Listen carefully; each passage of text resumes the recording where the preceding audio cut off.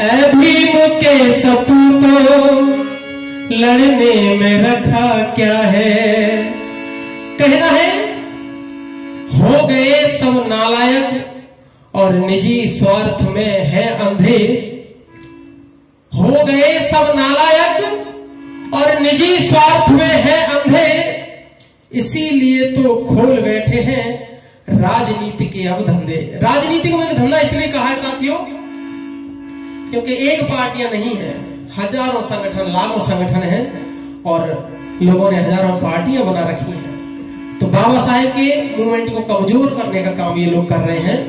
तो कहना है, हो गए सब नालायक और निजी स्वार्थ में है अंधे, इसीलिए तो खोल बैठे हैं।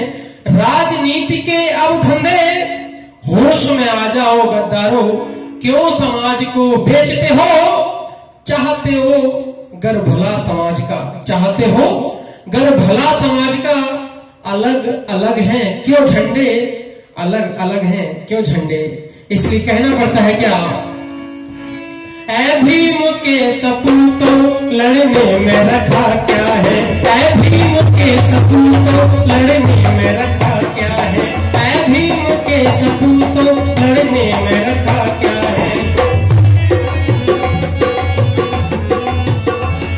कहना है, ऐ भीम के सपूतों, लड़ने में रखा क्या है? साथियों, कहना है क्या? खेमों में बटे लोग, खेमों में बटे लोग क्या खाक समाज जोड़ेंगे? खेमों में बटे लोग, साथियों, कहना है कि जो लोग छोटे छोटे झुंडों में बट गए हैं, ये मेरा ग्रुप है, ये मेरा ग्रुप है, ये मेरा संगठन है, ये मेरा संगठन है, ये मेरी पार्टी है। और साथियों, हम आपस में पाबंदी लगा देते हैं। अरे तुम उस फला पार्टी में काम करते हो तो मेरी पार्टी में नहीं जाओगे। या मैं उस फला संगठन में काम करता हूँ तो उस संगठन में नहीं जाऊँगा। तो कहना है कि खेमों में बटे लोग क्या खाक समाज जोड़ेंगे? स्वार्थी, अंधे लोग बहुजन मनोबल ही तोड़ेंगे। वक्त पुकारे अपना अपना राग अलापना छोड़ो। ऐ मेरे बाबा के बच्चों, समय रहते, एक जगह पर आ जाओ, एकत्र हो जाओ, नहीं तो वो समय दूर नहीं कि जहाँ से बाबा साहब ने आपको यहाँ तक पहुँचा दिया, वापस जहाँ से खड़ा किया था, वहाँ पहुँचने में देर नहीं लगेगी। कहना है क्या? खेमों में बटे लोग, क्या खाक समाज जोड़ेंगे? स्वार्थी अंधे लोग, चल रहा है ना? स्वार्थी अंधे लोग बहुजन मनोबल ही तोड़ेंगे। वक्त पुकारे, अपना अपना राग अलापना छोड़ो, मिलकर लड़ो। देखना समुन्द्र भी रास्ते छोड़ेंगे समुन्द्र भी रास्ते छोड़ेंगे। इसलिए कहना पड़ता है क्या? ऐ भीम के सपूतों, ऐ भीम के सपूतों, लड़ने में रखा क्या है? ऐ भीम के सपूतों, लड़ने में रखा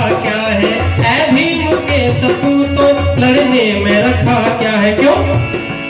मेरे भीम के सपनों का, मेरे बाबा के सपनों का अंजाम हुआ क्या है? मेरे भीम के सपूतों लड़ने में रखा क्या है? क्योंकि कहना है कि बाबा साहब के सपनों का अंजाम हुआ क्या है? साथियों, क्योंकि वो अंजाम बहुत बुरा हो गया। बाबा साहब हमको कहाँ पहुंचाना चाहते थे और हम कहाँ पहुँच के रह गए हैं? इसलिए कहना है क्या? मेरे भीम के सपनों का अंजाम हुआ क्या है? ऐ भीम के सपूतों लड़ने में रखा क्या है?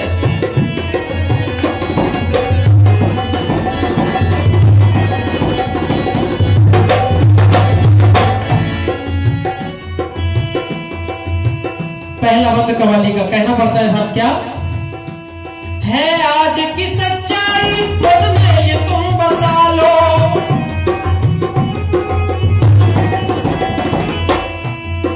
है आज की सच्चाई। मन में ये तुम बसा लो, कहना पड़ता है क्या? है आज की सच्चाई, मन में ये तुम बसा लो। क्या? आप मानो या ना मानो, लेकिन ये सच्चाई है। है आज की सच्चाई, मन में ये तुम बसा लो। क्या? भारत में जुल्मी राज का, भारत में जुल्मी राज का, भारत में गुंडा राज का आगाज़ हो चुका है। भारत में जुल्मी राज का आगाज़ हो गया है। कहना पड़ता है क्या? जुल्मी राज का आगाज़ हो गया है। कहना है क्या? चलना है राहे, भीम हमें दरख्वास्त करता हूँ। मेरी गुजारिश है बाबा के बच्चों, कि आपको और हमको कहा चलना है? चलना है राहे, भीम हमें। हम बाबा साहब की जयंती मना रहे हैं, लेकिन साथियों, बाबा साहब की जयंती मनाना सार्थक तब होगा जब हम बाबा साहब के रास्ते पर चलेंगे, बाबा साहब की बात मानेंगे। इसलिए कहना पड़ता है क्या? चलना है राहे भीम हमें, दरख्वास्त करता हूँ। गर्दिश में है भीम मिशन, आगाह करता हूँ। गर्दिश, संकट में है भीम मिशन, मैं आपको इसके लिए आगाह करता हूँ, चेताने का काम करता हूँ। कहना है, चलना है राहे भीम हमें, दरख्वास्त करता हूँ। गर्दिश में है भी मिशन आगाह। करता हूँ, बाबा के बेटो, गर पड़े ज़रूरत तो हाथों में हथियार उठा लेना। स्वाभिमान के वास्ते, संविधान के वास्ते मैं आपका आह्वान करता हूँ, स्वाभिमान के वास्ते आपका आह्वान करता हूँ। कहना है कि चल रहा रहे, भीम हमें दरख्वास्त करता हूँ। गर्दिश में है भीम मिशन आगाह। करता हूँ बाबा के बेटो, अगर पड़े ज़रूरत तो हथियार उठा लेना।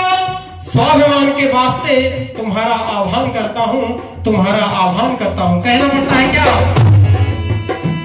खतरे में आ गया है संविधान अपना यारो।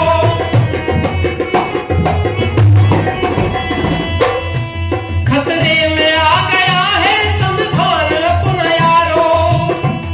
खतरे में आ गया है संविधान अपनाया। कहना है क्या? लगी है मिशन में क्रांति की आग से बुझने नहीं देना है। बाबा के अधूरे सपनों को अंजाम देना है। कहना है, लगी है मिशन में क्रांति की आग से बुझने नहीं देना है। बाबा के अधूरे सपनों को अंजाम देना है। करता है जौहरी गुजारिश, लौट आओ अपने घर जो बाबा साहब के मिशन से भटक गए हैं, जो लोग बाबा साहब के बहुजन बच्चे, जो ये समझ के दूर हो गए हैं कि जो कुछ किया है, हमने अपनी मेहनत से किया है, बाबा साहब ने किया क्या है। तो वो जरा मेरी इस बात को गौर से सुन ले तो मुझे दुखी होकर लिखना पड़ता है क्या? लगी है मिशन में क्रांति की आग, इसे बुझने नहीं देना है। बाबा के अधूरे सपनों को अंजाम देना है। कहना है साथियों, लगी है मिशन में क्रांति की आग, इसे बुझने नहीं देना है। बाबा के अधूरे सपनों को अंजाम देना है। करता है जौहरी गुजारिश लौट आओ अपने घर, वरना सोच नहीं पाओगे। आने वाली पीढ़ी को जवाब क्या देना है? आने वाली पीढ़ी को जवाब क्या देना है? कहना पड़ता है क्या? खतरे में आ गया है संविधान ग्रंथ यारो ग्रंथ मैंने इसीलिए लिखा कि दुनिया में, इस भारत में कितने ग्रंथ हैं, लेकिन अगर हमारा कोई सच्चा ग्रंथ है तो वो है संविधान। खतरे में आ गया है संविधान ग्रंथ यारो तो हमको क्या करना है? घर से निकल के क्रांति, घर से निकल के क्रांति का वक्त आ गया है। घर से निकल के क्रांति का वक्त आ गया है। घर से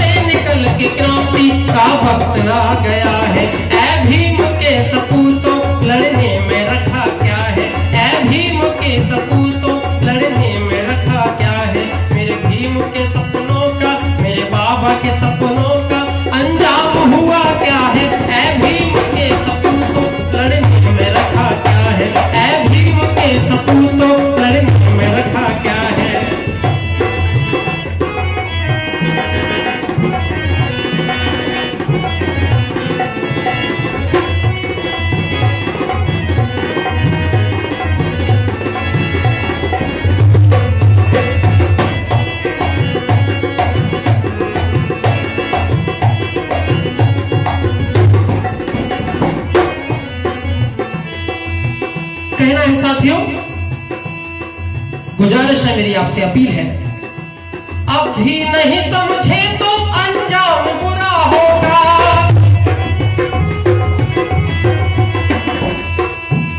अब भी नहीं समझे तो अंजाम बुरा होगा।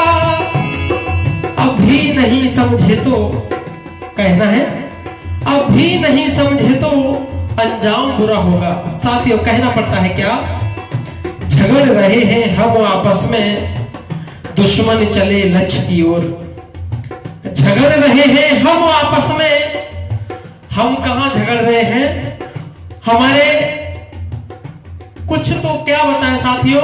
बाबा साहब के बच्चे जो पचासी परसेंट इस देश में हैं, वो आपस में लगे हुए हैं कि हर छह हज़ार सात सौ तैतालीस जातियों में जो बहुजन समाज बटा हुआ है वो आपस में क्या समझता है कि मेरा एक भाई पिट रहा है तो दूसरा चुप रहता है? बोले कि मुझे क्या फ़र्क पड़ता है? वो तो इस जाति का है। वो तो इस जाति का है। वो तो इस जाति का है। और धीरे धीरे करके सब पिट रहे हैं। पूरा बहुजन समाज पिट रहा है। लेकिन साथियों, हम जागने का काम नहीं कर रहे हैं। अगर हम समय रहते नहीं समझे तो बहुत मुश्किल की घड़ी बहुत जल्द हमारे बीच आ जाएगी। इसलिए कहना पड़ता है क्या झगड़ रहे हैं हम आपस में। दुश्मन चले लक्ष्य की ओर, बहुत जल्द ही असर दिखेगा। जुल्मी राज का चारों ओर, बहुत जल्द ही असर दिखेगा। जुल्मी राज का चारों ओर। इसलिए साथियों, नागपाल जी लिखते हैं। राहुल नागपाल जी लिखते हैं क्या? कभी तुझको, कभी मुझको लड़ाते हैं। गौर कीजिएगा। कभी तुझको, कभी मुझको लड़ाते हैं। ये वही लोग हैं जो मेरी बस्ती जलाते हैं। औकात नहीं है हमसे सीधे लड़ने की। औकात नहीं है हमसे सीधे लड़ने की। इसीलिए साथियों, ये नामर्द हमारा इतिहास जलाते हैं, हमारा इतिहास जलाते हैं। कहना पड़ता है क्या? कभी तुझको, कभी मुझको लड़ाते हैं। ये वही लोग हैं जो मेरी बस्ती जलाते हैं। औकात नहीं है हमसे सीधे लड़ने की, इसीलिए ये नामर्द हमारा इतिहास जलाते हैं, हमारा इतिहास जलाते हैं। तो कहना पड़ता है क्या? अब भी नहीं समझे तो अंजाम बुरा होगा। क्या? अंजाम क्या बुरा होगा? तेरी आन बान शान पे कपड़े अच्छी अच्छी गाड़ियाँ, अच्छे अच्छे घरों में हम रह गए हैं, उस शान को ग्रहण सा लगने लगा है। साथियों, छोटा सा उदाहरण तो मैं बता दूँ कि दो महीने में मेरी आईडी तीन बार ब्लॉक हो चुकी है जिसपे मैं पोस्ट नहीं कर पा रहा हूँ। इसको मैं क्या समझू? अभी कल से पूरे तीन एक पूरे एक महीने के लिए ब्लॉक हुई है। तीन दिन पहले हुई थी और एक महीने पहले हुई थी। इसलिए अंदाज लगा लीजिए अभी नहीं समझे तो अंजाम बुरा होगा।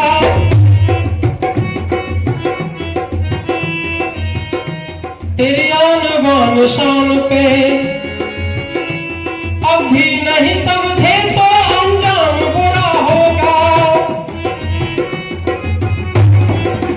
क्यों? तेरी आन बान शान पे उससे लोगों के पेट में दर्द होता है। इसलिए क्या? तेरी आन बान शान पे, तेरी आन बान शान पे क्या? अब तीर है। तेरी आन बान शान पे अब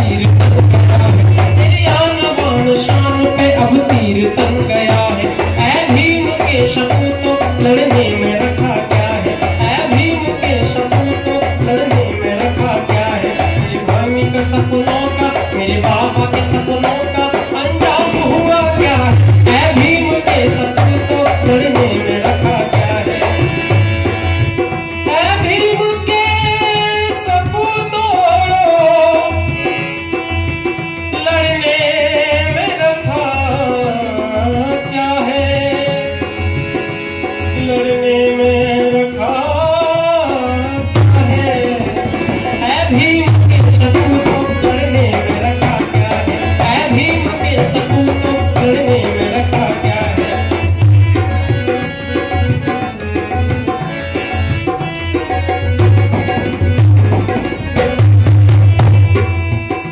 साथियों, इस कवाली का आखिरी बंद कहना पड़ता है क्या? पूछोगे जौहरी से कह देगा यही फिर से। क्या? पूछोगे जौहरी से, पूछोगे? जौहरी से कह देगा यही फिर से। क्या?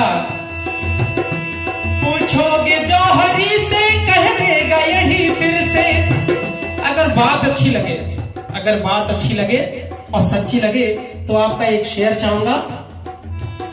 कहना है क्या?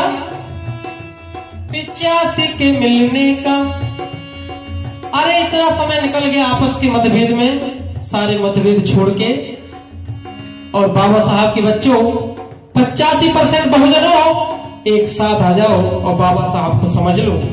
तो आपकी आपका जीवन इस देश में सुरक्षित हो जाएगा। तो क्या पिचासी के मिलने का, पिचासी के मिलने का अब वक्त आ गया है। पिचासी के मिलने का अब वक्त आ गया है। पिचासी के मिलने का अब वक्त आ गया है। भीम के सपूतों